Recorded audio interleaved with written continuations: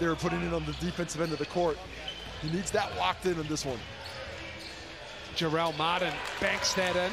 That position is just too deep. Message that you're going to have to come out and work a little bit harder. Otherwise, you just leave those starters in there for a bit. Jarell Martin, nice move, just soft for the big man.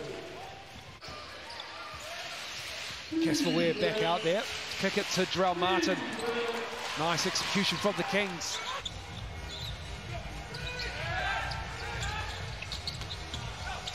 Passing, Jarell Martin in traffic, just a soft touch. Iverson shows on the double. Jarell Martin gets around Colton Iverson, stepping through. Nice finish from Jarell Martin. And Dan Shamir calls time. Missed a couple of bunnies, but that's a kind of move he needs to continue to make. Jarell Martin looking much more active tonight than he has on Thursday, has been on Thursday. The half court really sat in and the de defense has started taking a little bit more away.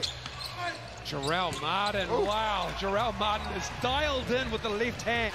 The quickness, but the finish is a little loose. Casper Ware had it poked away, regathers it.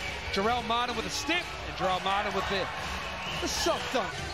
Screen across for Xavier Cooks. Jarell Martin has it, needs to get it up. Does so and just uses his strength. Oh, he likes this matchup. Certainly does. He wants to feast. The big man across the lane, gets it back, one! Jarell Martin, big time.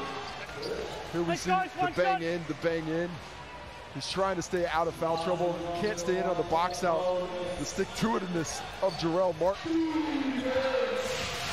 Martin barrels his way through and left hand.